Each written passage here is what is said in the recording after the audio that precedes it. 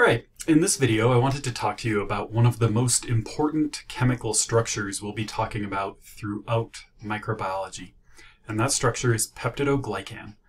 So uh, bacterial cells utilize peptidoglycan, it's critical to their survival, and so we really want to understand what this chemical structure is made out of, why it's important. So um, let's start looking at peptidoglycan. So the reason we care about peptidoglycan is that the bacterial cell wall is made out of this chemical structure called peptidoglycan. So I have a diagram here. At the bottom, we're trying to demonstrate a simple bacterial cell. The inside of the cell contains the cytosol or cytoplasm. Then as you uh, move out of the cell, you have to cross the lipid bilayer or the cell membrane. And then for bacterial cells, immediately outside the cell membrane is this layer, the cell wall, and that cell wall is made out of peptidoglycan. So in this more detailed view here, we can see the lipids of the lipid bilayer, and then we can see this diagram representing the chemical structure of this stuff that we call peptidoglycan. Again, it's super important in microbiology that we understand the chemical makeup of this chemical peptidoglycan. So let's think a little more deeply about what's going on inside of peptidoglycan. So first, let's think about what peptidoglycan is actually made out of. So what are the chemical components of peptidoglycan? And really, peptidoglycan is made out of just two chemical components. So it's built out of two monosaccharides. Remember, a monosaccharide is just a single sugar. So the chemicals that make up the peptidoglycan cell wall are mostly sugars. We're going to talk about two different sugars that are used to make up this peptidoglycan cell wall. The first of these sugars has this name, N-acetyl muramic acid, but in our class, we're just going to call this sugar NAM, N-A-M. NAM is going to represent N-acetyl muramic acid. So this sugar has a very specific chemical structure, and I want to show you what that looks like. Here's a chemical structure for the sugar NAM. So it has a ring structure, which is common to many sugars. Um, it's a carbohydrate, so it's made out of uh, hydrated carbon, so waters and carbons. Um, I tell you this, but I, I don't want you to worry too much about the intricacies of that structure, right? We don't need to memorize that NAM chemical structure. I really just want to point out that NAM is a sugar. The second monosaccharide that is part of the peptidoglycan cell wall is called N-acetylglucosamine. Again, we don't need to use that full name in our course. Let's just refer to that sugar as NAG. So we'll use NAG to refer to N-acetylglucosamine. And again, I want us to look at the chemical structure of NAG. Not because we should memorize that structure or we're going to need to draw the exact structure moving forward, but so that we can see it shares this same sugar or monosaccharide structure. So here's NAG. Again, it has that ring structure, and it's the hydrated carbons making it a carbohydrate. So those are the chemicals that we're going to need to understand to um, fully understand how peptidoglycan is built. But let, let's add one more quick detail about NAM and NAG.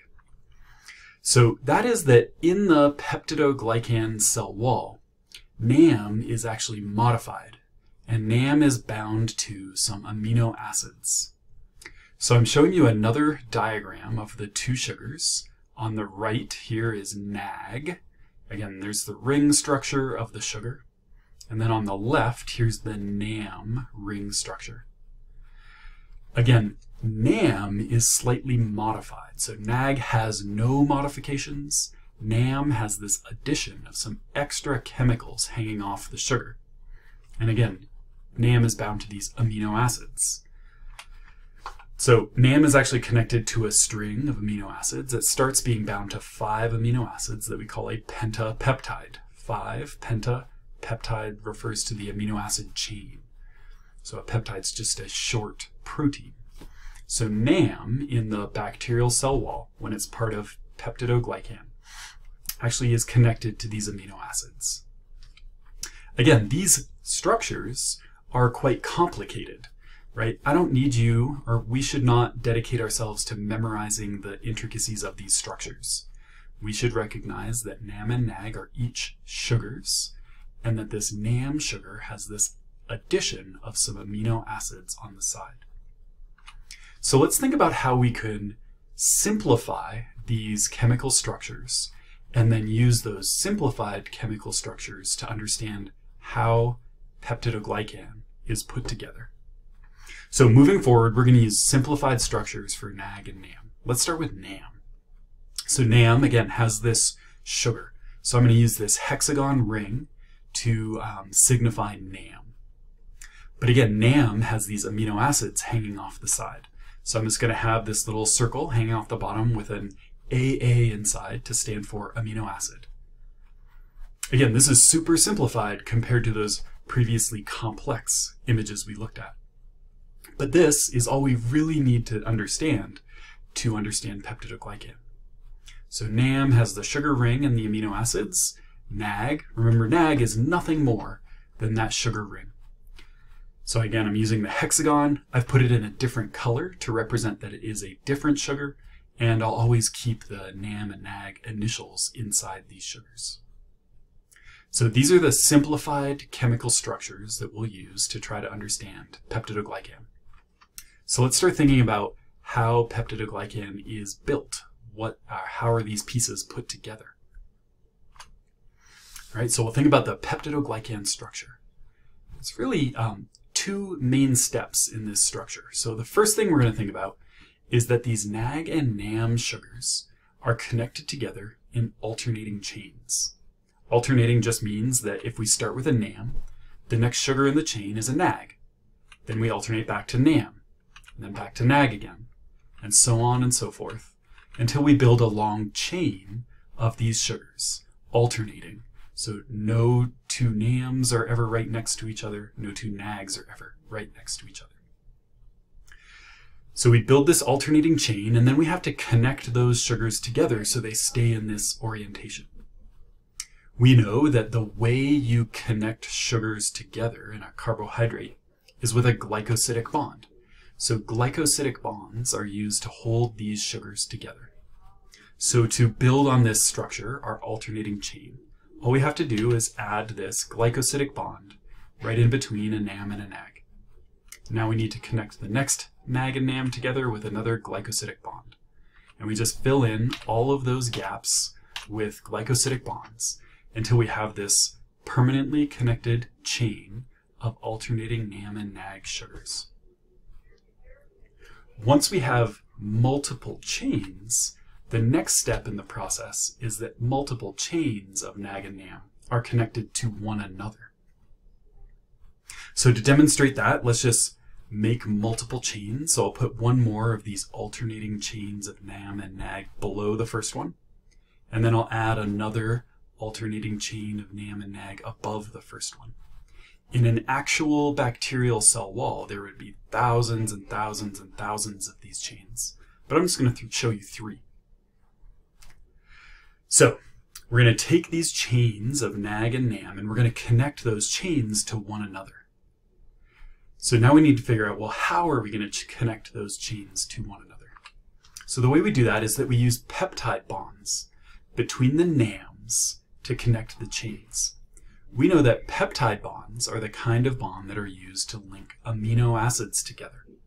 So since NAM sugars have these amino acid side chains, we can build a peptide bond between one amino acid and the amino acid on another NAM next door.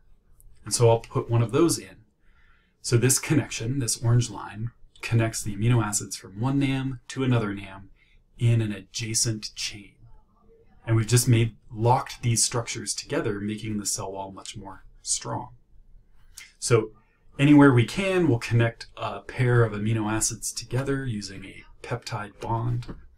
The one thing I'll point out about these peptide bond crosslinks between NAM sugars is that there's only ever one to any one NAM. So you can only make one peptide bond per NAM. So you can only connect two NAMs together with one peptide bond. And that's the peptidoglycan structure. You just make more and more of that. You make the strings of sugars, you connect them together with glycosidic bonds, then you connect the strings to one another using the peptide bonds. And that's it.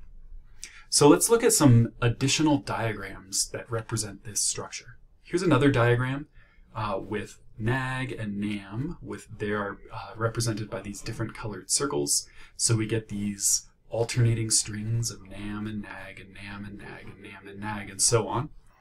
And then we make a whole bunch of those strings, and off of the NAMs, you find these amino acid side chains, and they've been connected together with a peptide bond.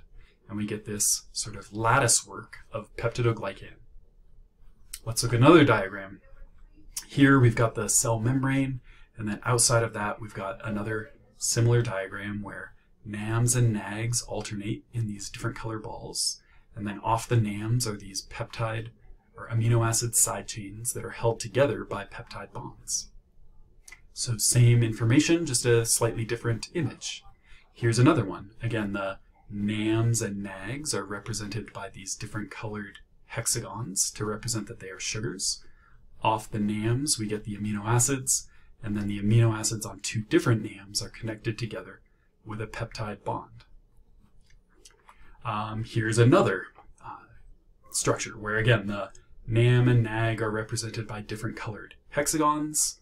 Off of the NAMs, we get these amino acid side chains, and then the amino acid side chains between two NAMs are connected together by a peptide bond crosslink. I think I have one more picture.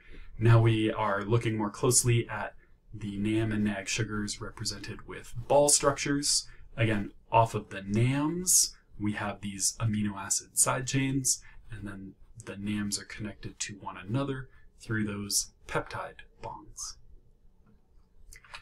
So let's end by just thinking about what's different between peptidoglycan in different kinds of bacteria, specifically gram-positive and gram-negative bacteria. So we've talked about some of this previously. Um, first, in gram-positive bacteria, this peptidoglycan structure is quite thick. We've talked about it being 10 to, uh, or sorry, 30 to 300 nanometers thick. Whereas in gram-negative cells, that peptidoglycan layer is relatively thin, just a few nanometers. So same chemical structure, different amounts of it. Lots in gram-positive, a thinner layer in gram-negative.